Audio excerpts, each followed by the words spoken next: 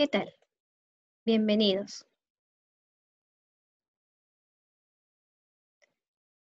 El día de hoy vamos a compartir un tema importante y espero sea de su agrado. Soy Elsa Castañeda Sánchez, profesora del área de Desarrollo Personal, Ciudadanía y Cívica, y esta sesión está dirigida a estudiantes de segundo año de secundaria. El tema, mi consigna en la vida placer o deber. El propósito, la importancia de evaluar cuál es la regla que mueve nuestro actuar. Los invito a poder apreciar este video y estemos atentos a las escenas que se presentan.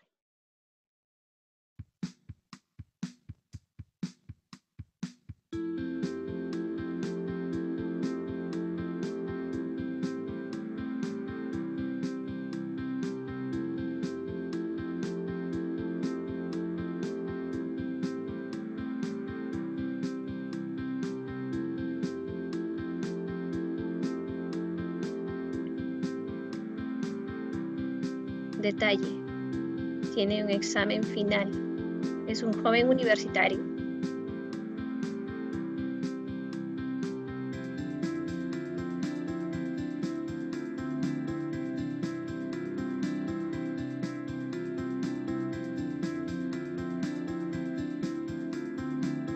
Tiene que estudiar.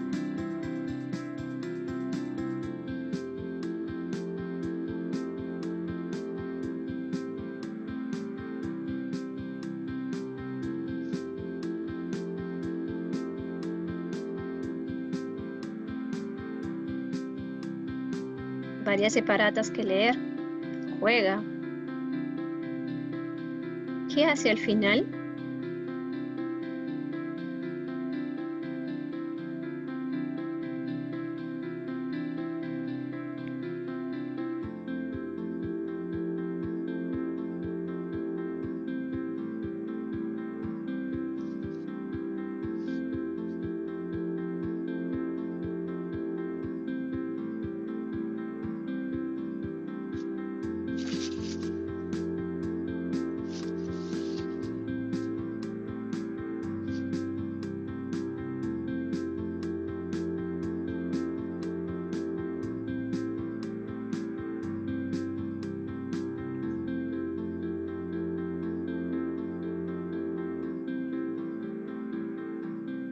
Bien. Ahora te propongo responder estas preguntas. Estas preguntas las tienes en tu ficha. Las vas a desarrollar allí o en tu cuaderno. ¿Cuál es el argumento del video observado?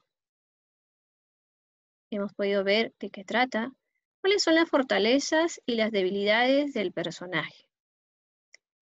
Frente a estas escenas que hemos visto, ¿qué acciones, siendo positivas, resultaron perjudiciales para este joven? ¿Quién es el más afectado o beneficiado con las decisiones que se toman? ¿Y por qué? Ahora reflexiona un poco y esta pregunta va más para ti. ¿Qué experiencias has tenido tú para apoyar las respuestas que has dado? Experiencias propias o quizá experiencias que tú conoces de otras personas. Bien. Ahora te toca evaluar y pensar un poco. ¿Cuál es la regla o ley fundamental que mueve tus acciones? ¿Cuál es tu consigna en la vida?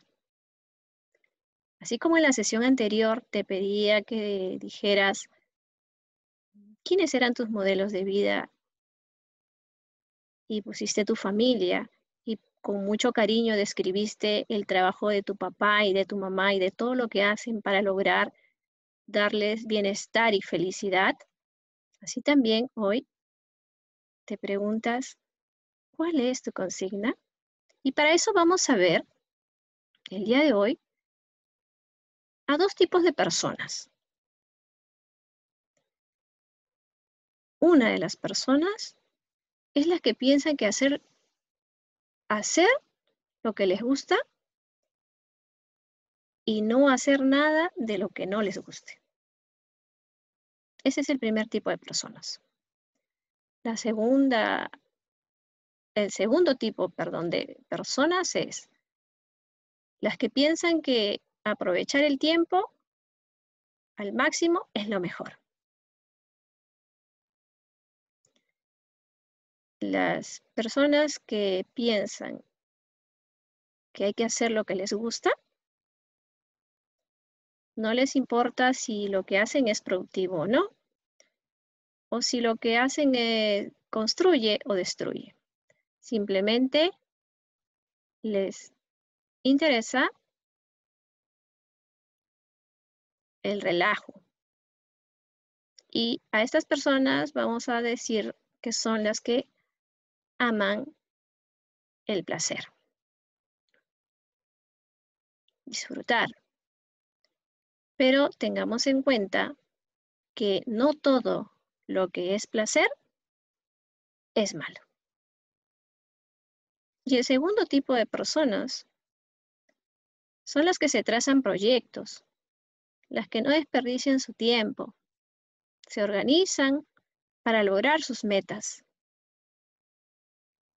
Cuando tú mencionabas a tu familia y decías que tus papás se han esforzado por lograr tener lo que tienen y darles a ustedes una vida buena, es porque ellos han tenido que sacrificar.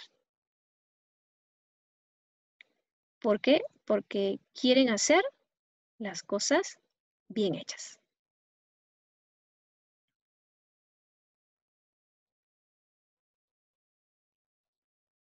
Tengamos en cuenta que los extremos son malos.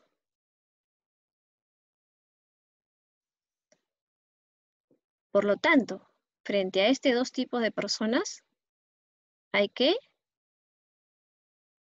optar. Hay que decidir. Y esta decisión es de libre elección. Inclusive ahora, por ejemplo, nos han dado normas por esta situación en la que estamos viviendo. Pero quien no es responsable y quiere hacer lo que le da la gana, entonces comete la falta de salir cuando no lo debe hacer, sin protección y exponiendo a las demás personas. Mientras hay otras personas que están preocupadas porque aman servir y hacer bien las cosas.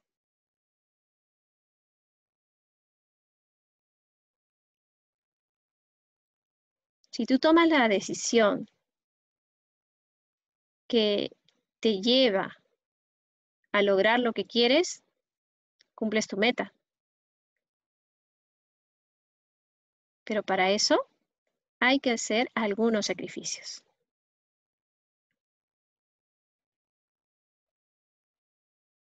Reflexionemos. ¿En qué tipo de persona te sitúas? ¿Cuáles son los beneficios personales de optar por el deber? Desde tu experiencia. ¿Cuáles son esos beneficios? El optar por el deber eh, significa a veces sacrificar cosas.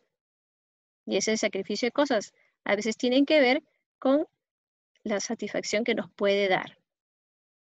¿Qué actividades te dan satisfacción?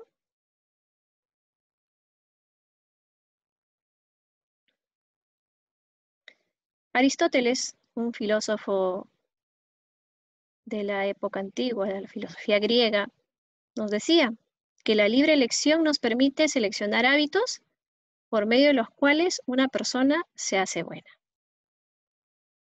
decidir, elegir y llegar a la felicidad. ser una persona buena.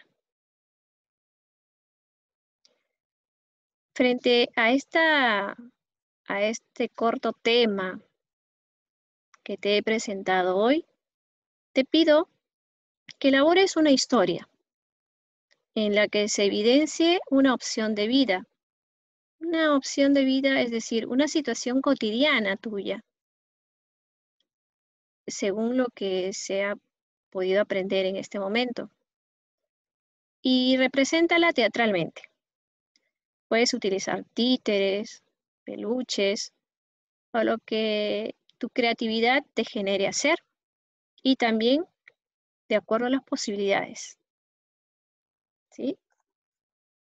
De repente no hay títeres, pero sí puedes armar algo así, personajes. En este caso es una manita. Hola.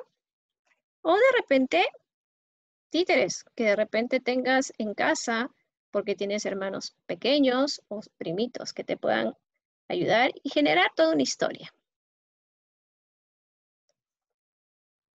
Eh, allí te dejo un link también de un ejemplo de el deber y el placer. Eh, está hecho por unos niños. Es solo un ejemplo, pero te ayudará. Dentro de las recomendaciones que te doy es que seas creativo, eh, que el video que grabes dure de 5 a 8 minutos. Son las pautas, pero dependiendo de cómo tú lo desarrolles, lo revisamos.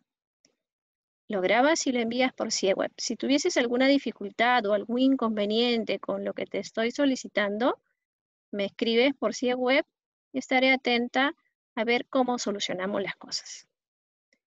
Que tengas buen día. Bendiciones para ti y tu familia. Cuídense mucho. Nos vemos la próxima clase. Allí también les dejo la bibliografía consultada.